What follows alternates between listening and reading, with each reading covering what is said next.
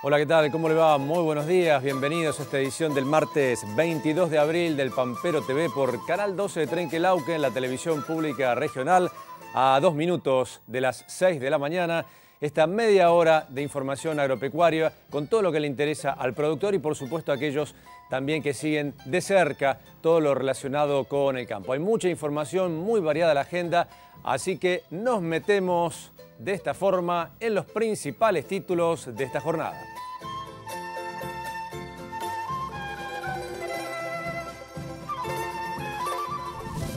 Beneficios para los biocombustibles. La presidenta anunció ayer un proyecto para eximir de impuestos a la producción de biodiesel en el país. Mejor de lo esperado. Con el avance de la cosecha de la soja de primera, se notan rindes de muy buenos a excelentes, esto a pesar de las lluvias y los calores del verano. Ejemplo Latino. Una empresa de Saliqueló logró implementar un sistema de control de efluentes de leche que fue puesto como modelo fuera del país y aprovechó el formato para secar suero y exportarlo en polvo. La soja firme. Con el regreso de la comercialización en la bolsa de cereales, se notó un leve ascenso de los precios en la soja y estabilidad en los costos del maíz. Y nos metemos ahora en el mercado de Hacienda de Liniers, información de hace instantes, con los ingresos eh, de vacunos para comercializar en el día de hoy. Ayer una jornada típica de lunes, hoy ya martes arrancada la semana, una semana hábil que va a tener, no va a haber feriados y tenemos 9.878 vacunos ingresaron al mercado de Hacienda de Liniers en 282 camiones. Repetimos entonces el ingreso de hoy al mercado de Hacienda de Liniers 9.878 vacunos. Y bien, como todos los días a esta hora, antes de arrancar la jornada, vamos a ver cómo está el tiempo a esta hora en la ciudad de Trenquelauquen. Tenemos una temperatura bastante baja, aunque no se siente tanto, ¿eh? 7 grados dos décimas, una sensación térmica todavía menor, 6 grados 4, que irá subiendo a lo largo del día, una humedad del 80%, eso quizás explique un poco, alta la humedad, Cielo despejado con la presión baja 1006.2 hectopascales, viento del sudoeste a 14 kilómetros por hora con ráfagas de 23 kilómetros. Se espera una temperatura máxima para la jornada de hoy de 22 grados, cerca de las 14 horas. 22 grados entonces la temperatura máxima estimada en el día de hoy. Días bastante buenos, con mucho sol, calorcito a la tarde, así que vienen bien y hay que aprovechar quizás sean los últimos de esta semana. Nos vamos ahora a repasar las cotizaciones del mercado de cereales, ¿eh? a ver cómo están los números por los cereales. Comenzamos el repaso por el trigo molinos, la cotización en Pehuajó, 1.750 pesos por tonelada. Carlos Casares, 1.700 pesos. Realicó, 1.900. El trigo de exportación, Rosario, 1.800 pesos. En el puerto de Bahía Blanca, 1.900. El turno ahora del maíz. En Rosario, por tonelada, 1.420 pesos. Bahía Blanca, 1.401,93. El precio ahora del sorgo, ¿eh? granífero sorgo, Rosario, 1.000 eh, pesos por tonelada. El turno ahora de la soja. La soja cotizó en Deró 2.290 pesos por tonelada, Junín 2.307,17 centavos. En el puerto de Bahía Blanca 2.440, Necochea 2.380 pesos. El turno finalmente del repaso de Girasol, Trenquelauquen, 2.160 pesos, Deró, 2.090 pesos, Villegas, 2.160 por tonelada, Rosario, 2.400 pesos, Bahía Blanca, 2.070 y Necochea, 2.030 pesos por tonelada. Por último, el repaso por el dólar, cotización del Banco de la Nación Argentina, para la compra 7 pesos con 90, para la venta estable 8 pesos. Nos metemos en el primer tema de la agenda de hoy, ese está al tope de nuestros títulos y tiene que ver con el anuncio de la presidenta Cristina Fernández de Kirchner en el día de ayer con una eh, exhibición de impuestos a la, eh, al biodiesel. Es un proyecto que envió al Congreso de la Nación y esto tiene que ver con lo que ocurre eh, con las restricciones que impone la Unión Europea. Hasta que sigan estas restricciones, se mantendrá, dijo la presidenta, esta exención al biodiesel. Esto va a traer, por supuesto, alivio a muchos productores que mandan a plantas de biodiesel justamente su producción. La presidenta hacía el anuncio en Casa de Gobierno en una conferencia de prensa, en una mm, conferencia justamente con la localidad de Timbúes. Allí inauguró una planta de molienda de soja de la firma Renova, pero también la presidenta hizo la presentación del programa Pampa Azul, que tiene que ver con la investigación de la riqueza itícola de la Argentina. Lo decía en estos términos. Calculamos y se calcula que no va a haber comida suficiente en la tierra para las próximas décadas. Por esto es un proyecto estratégico. Se calcula que va a haber más comida en el agua que en la tierra. Por eso es tan importante que nosotros, que tenemos 2.800.000 millones de kilómetros cuadrados de mar argentino, por primera vez, además de bañarnos y además de pescar, vamos a ir al mar a investigar, como ya hemos hecho durante todo este año con el proyecto Pampa Azul, cuya cabeza es el CONICET, pero donde la Armada, donde la Prefectura, con sus barcos y su instrumental y sus científicos. ¿Qué significa esto? Que nuestros científicos están investigando por primera vez el mar argentino con un sentido estratégico de ver toda nuestra riqueza ictícola que otros conocen muy bien. Esto es un, un proyecto muy ambicioso, es un proyecto estratégico, debe ser una política de Estado que debe ser continuada por todos los gobiernos, porque yo les aseguro que en el mar está, una, está la riqueza, no solamente hidrocarburífera, sino alimentaria. Bien, allí entonces el anuncio de la presidenta con definiciones que también trascienden lo que es gestión, sino también con definiciones políticas que a partir de las 7 de la mañana ya vamos a tener en la primera edición de Noticias 12. Bien, ahora nosotros nos vamos a la primera nota de valor agregado que tiene que ver con el INTA, por supuesto, como marco de referencia, y la provincia de Santa Fe.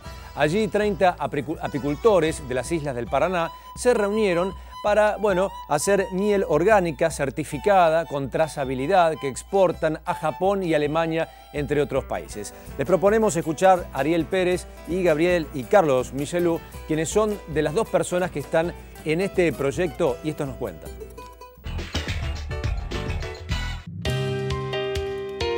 Más valor es más crecimiento productivo, más empleo y más desarrollo en los pueblos es posible transformar las materias primas en su lugar de origen y conseguir productos con mayor valor agregado.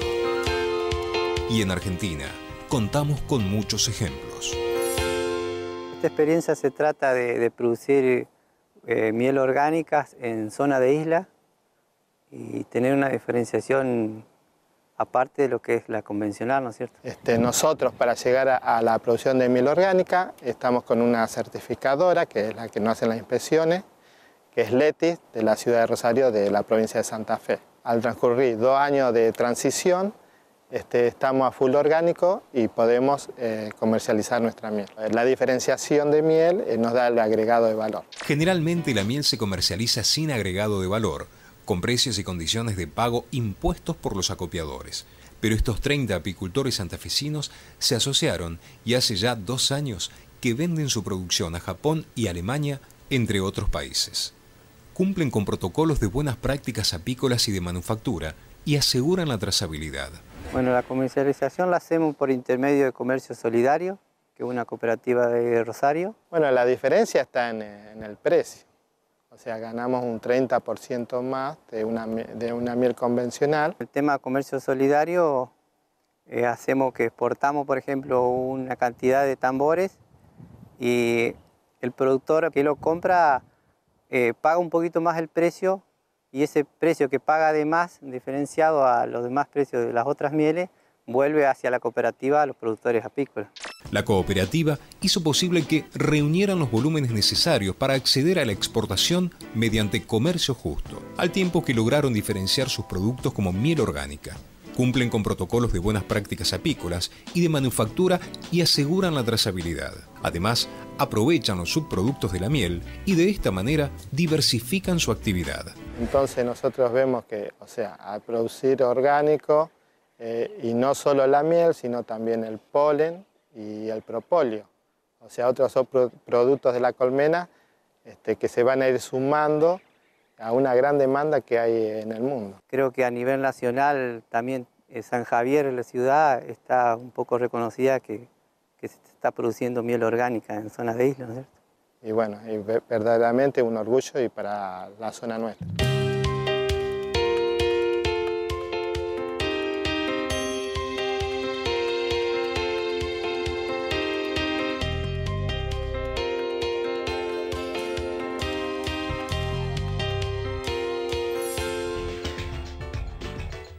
Este proyecto significa que estos apicultores santafesinos pueden también ganar un 30% más que con el manejo de la miel convencional. Bien, estamos hablando en estos programas de lo que es el valor agregado en origen. Nos hemos ido al distrito de Saliqueló. Ayer hablábamos y veíamos una nota con un tambo, dos tambos en realidad, de un campo muy cerquita de Lácteos La Familia, que es donde hoy vamos a estar. Ayer veíamos la producción primaria, cómo este tambo producía leche y hoy vamos a ver qué, qué, ocurre con esa leche y en qué se transforma. Hablamos con Gerardo Retorto, quien es su dueño, su propietario, una apuesta que han hecho no solamente en la elaboración de quesos, dulce, dulce de leche, sino también en la transformación del suero. Antes se lo entregaba solamente para la alimentación del ganado, ahora se lo diseca y se lo exporta y realmente con un valor agregado muy importante. Vamos a compartir esta experiencia.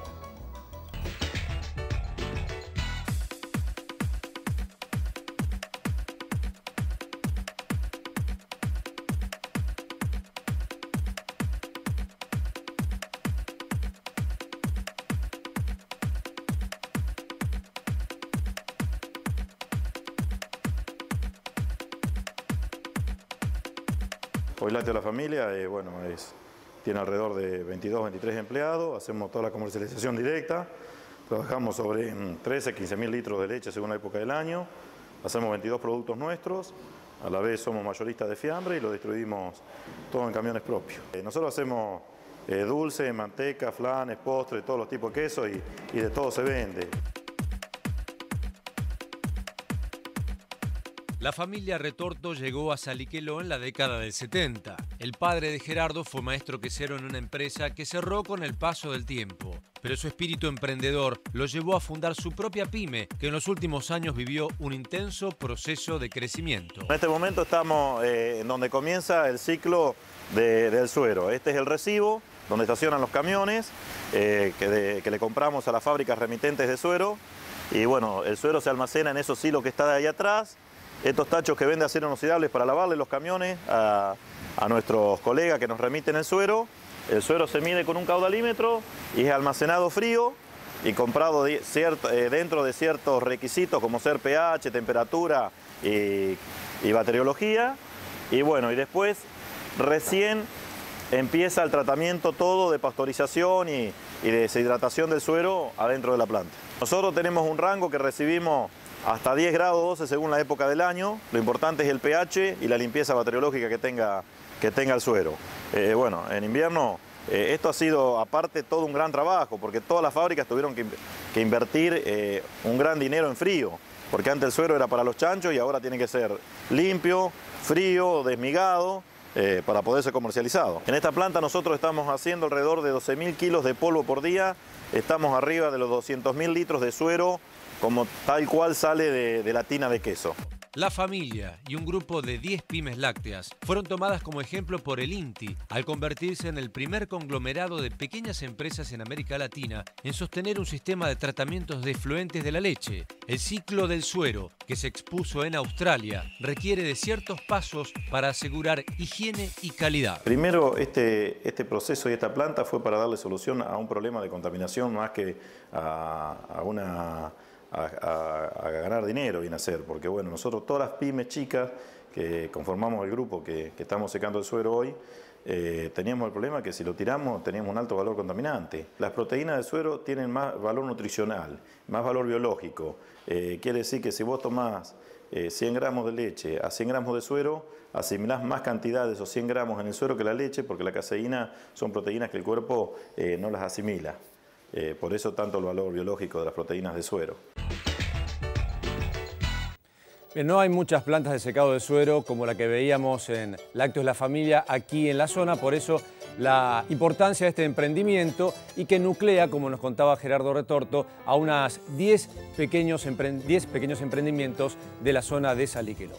Bien, 6 y 16 minutos, es momento de hacer la primera pausa, compartir un matecito para despertarnos, seguramente usted está allí remoloneando también, pero bueno, sacándolos de la cama hay que trabajar ¿eh? y salir a, bueno, a trabajar justamente con una temperatura bastante baja, tenemos 5 grados aquí en esta parte del oeste de la provincia de Buenos Aires. Nosotros hacemos una pequeña pausa, ¿eh? este corte, y ya volvemos. Tenemos mucho más para compartir con ustedes.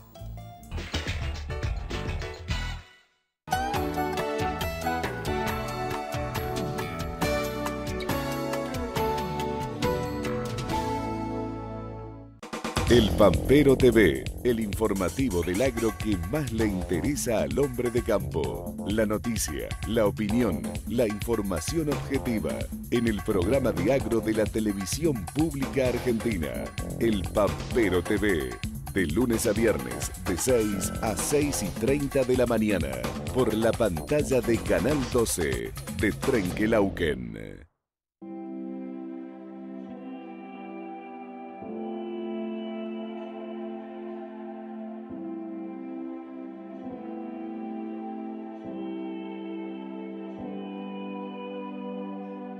La vocación es el primer rango. Ahora tenés la posibilidad de estudiar y convertirte en un oficial de policía cerca de tu casa. Ingresa en una de las 16 escuelas descentralizadas de formación policial ubicadas en distintos puntos de la provincia de Buenos Aires. El reclutamiento es permanente. Además, desde que comenzás los estudios, contás con un haber mensual de 3.200 pesos, cobertura médica y aporte previsional. Para más información, llama al 0800-222-6237 o entra en www.msec.gba.gov.ar. Buenos Aires, activa como nunca.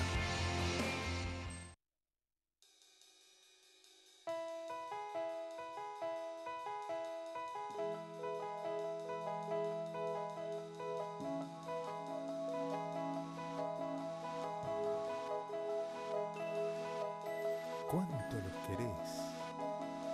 Harías cualquier cosa por ellos pero te das cuenta que por llevarlos sueltos los podés perder en un instante. Los chicos siempre atrás, en sus sillas especiales, con cinturón de seguridad. Esto es amor. Luchemos por la vida.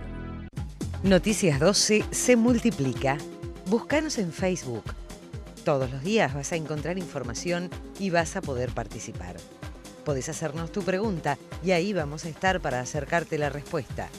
Dale me gusta al Facebook de Noticias 12.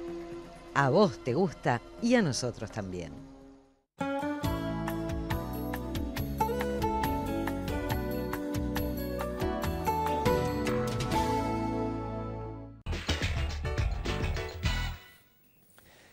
Segundo bloque de Pampero TV, esta edición del martes 22 de abril. Seguimos con más información y el Banco de la Provincia de Buenos Aires eh, informó por boca de su presidente Gustavo Marangoni de que se han duplicado los créditos al sector agropecuario en el primer trimestre de este año 2014 en comparación de un año atrás. Más de 3.100 millones de pesos a pymes agropecuarias ha destinado el Banco de la Provincia de Buenos Aires, informó Marangoni. Y entre las promociones más importantes está Procampo Trigo, que les permite a los productores trigueros comprar semillas, fertilizantes, agroquímicos y otros insumos a 270 días y a una tasa del 0%. Bien, y ya que estamos en el tema de los cereales, consultamos a Néstor Ricardo Loza, quien es un acopiador, para ver cómo estaba la cosecha específicamente de la soja, con buenas perspectivas nos contaba respecto de lo que fue el primer, eh, la primer tramo del año, donde hizo mucho calor, y después cuando vino la lluvia al momento de la cosecha. Hay buenas perspectivas, decía Loza, respecto del rinde y también sobre los precios. Tuvimos un, enero muy caluroso, con 45 hasta 50 grados la intemperie. En primer lugar se pensaba de que iba a afectar mucho a la soja, pero eh, aparentemente sí ha disminuido un poquito el rinde, ¿no es cierto? Estamos hablando siempre de soja de primera. pero bueno, este, aparentemente eh, los rindes son buenos. Se habla de 3.500, 4.000 kilos por hectárea, que eh, no se pensaba esos rindes, te digo la verdad. Con lo que tuvimos, eh, el, tema este climatológico que tuvimos en enero, se hablaba de 1.800 kilos que iban a dar, que no iban a dar. Bueno, pero gracias a Dios este, tenemos muy buenos rindes hasta ahora. Lo que fue la última lluvia eh, perjudicó un poquito el, tema, viste, de, eh, de, la chaucha de la soja. Mucha, mucho se cayó mucha soja. ¿Por qué?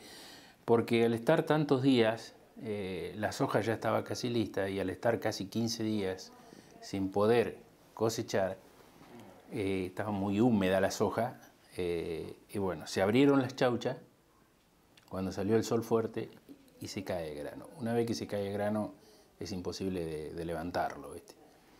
Pero no hubo mucha pérdida, ¿eh? no hubo mucha pérdida. Y ahora estamos eh, haciendo un impasse, ahora, porque ya prácticamente se ha terminado la soja de, primera. Estamos a 5 o 10 días de arrancar con soja de segunda. Esa puede llegar a tener algún problema, ¿viste? porque le agarró una helada que parecía que no había hecho nada, pero sí, influyó mucho. Yo calculo que va a haber un rinde de 1800 kilos, una cosa así por hectárea. Bien, una segunda parte de esta nota tiene que ver con eh, el INTA Balcarce. Nos vamos allí porque nos vamos a enterar de los consejos para eh, justamente mantener, digamos, que no haya pérdidas en la conservación de los cereales una vez cosechados, tanto en los hilos de metal como en los hilos bolsa. Hablamos con Bernadette Abadía del INTA Balcarce, como decíamos, y estos son los tips que nos da.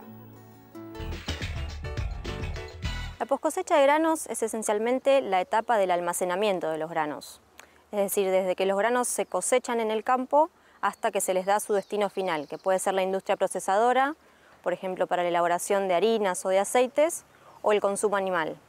Los procesos principales de la poscosecha son el secado, que es la remoción artificial de la humedad que trae el grano del campo, la aireación, que es eh, la utilización de ventiladores para bajar la temperatura del grano, el control integrado de las plagas, eh, que se realiza para evitar que los insectos y los roedores deterioren la calidad del grano, y fundamentalmente el guardado de ese grano ya sea en un silo de chapa, en una celda o en un silo bolsa.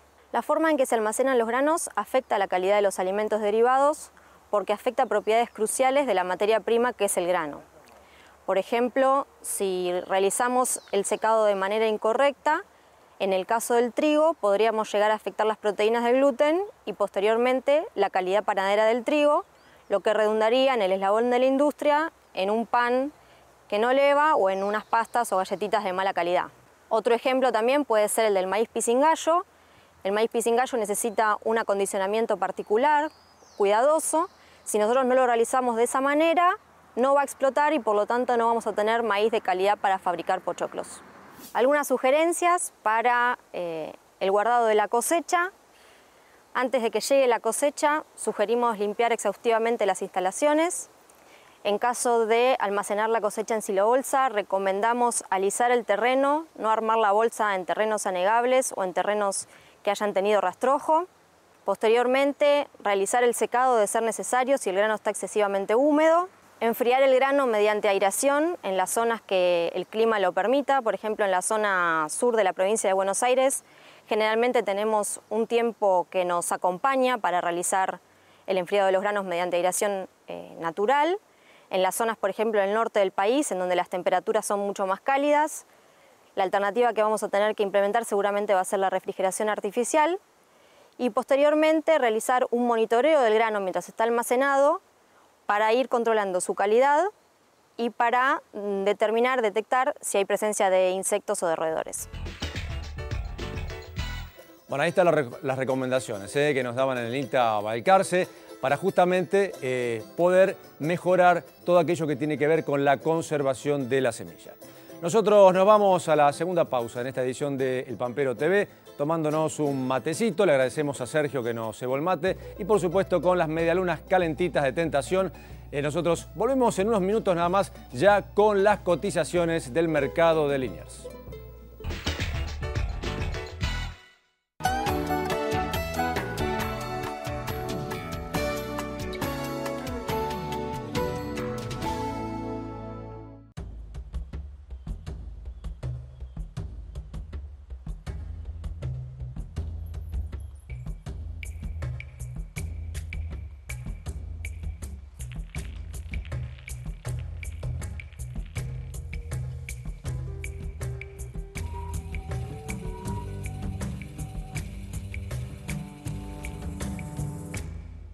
Argentina es tu mundo. Date una vuelta.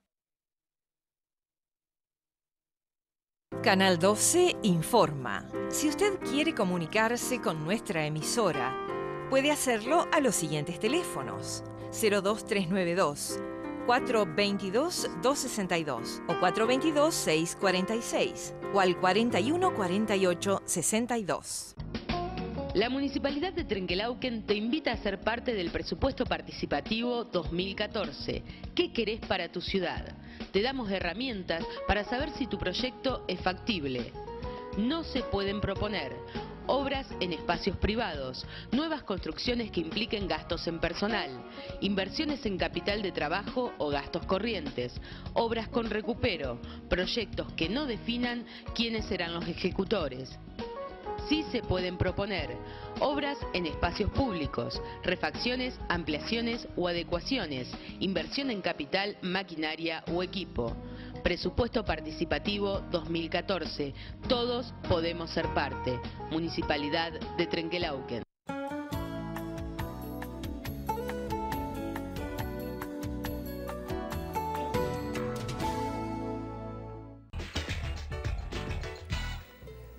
Bueno, nos quedan los últimos minutitos de esta edición de Pampero TV. Vamos a repasar las últimas cotizaciones del mercado de Hacienda de Liniers. Comenzamos con el ingreso del día de ayer. Entraron 1.191 bovinos y los índices, eh, justamente las cotizaciones de los novillos de consumo, de 13 pesos con 30 a un máximo de 17 pesos. Pesados, de 14 pesos a 14,50. Overos negros, un máximo de 13 pesos, regulares de 10 a 14 pesos. En el consumo definido, los precios corrientes novillitos de 14,50 a 17,82. Vaquillonas de 12 pesos a 17,38. Terneros de 14,45 un máximo de 18 pesos. Por último, las vacas de regulares especiales de 4 pesos a 13, la de conserva de 5 a 9,30 y los toros de 10 pesos a 11,30. El repaso del ingreso del día de la fecha de este martes 22 de abril. Hace minutos nada más se conoció este número, 9.878 vacunos para su comercialización en el día de hoy. Ingresaron en 282 camiones. Bien, ahora vamos a repasar cómo va a estar el tiempo. El Servicio Meteorológico Nacional nos dice lo siguiente. Para el día de hoy, como habíamos anticipado, se espera una máxima de 22 grados con nubosidad variable, un viento del sureste a 14 kilómetros por hora. Ya para mañana miércoles, atención, podría haber algunas lluvias débiles, una temperatura mínima estimada en 14 grados, una máxima de 20, con cielo parcialmente nublado. Para el jueves, una mínima que se mantiene en 14 grados, la máxima baja apenas 19, cielo algo nublado. Ya para el viernes se anticipa una temperatura de mínima de 13 grados, una máxima de 22 con cielo despejado. Nosotros llegamos al final de esta edición del martes 22 de abril de Pampero TV. Muchísimas gracias por acompañarnos y seguirnos todos los días tan temprano, 6 de la mañana, 30 minutos. Les pedimos que sigan a través de la pantalla del canal 12 de Trenquelauquen. A las 7 de la mañana llega la primera edición de Noticias 12 con Juan Manuel Sotuyo. Al mediodía, a las 12, eh, Graciela Palacios con la segunda edición. Nosotros nos reencontramos, y por supuesto la repetición de, de programa, eh, 11 y media de la mañana. Nosotros nos reencontramos a partir de las 6 de mañana miércoles. Muchas gracias y hasta entonces. Chao.